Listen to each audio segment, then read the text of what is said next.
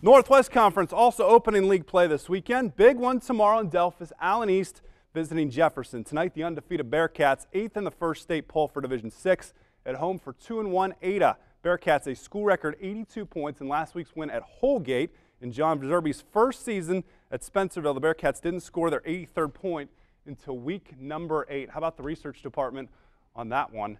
As Mark Kuntz brings you all kinds of good stats. Bearcat cheerleaders, plenty to cheer about, leading 21-7 at the half. Third quarter, Bearcats ball first driving. It's Mason Nurse.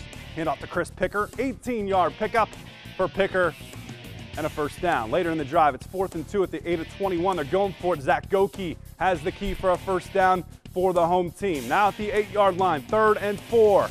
Another handoff. Ball squirts free. Ada's Cole East falls on it at the one-yard line. Big turnover after the two teams trade punts. Bulldogs ball at their own 25. Bearcat defense brings the pressure. Dakota Pritchard the sack. Spencerville's ground game trying to get back on track later in the third. Pitch to Goki, cuts back 10-yard game, but that drive fizzles. Fourth quarter now. eight Ada ball, own 22. Conley able to sidestep Nick Freewalt, scrambles.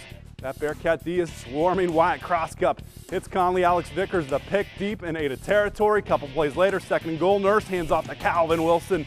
Slides off tackle into the end zone, the four-yard touchdown. 28-7 home team after another Vickers interception.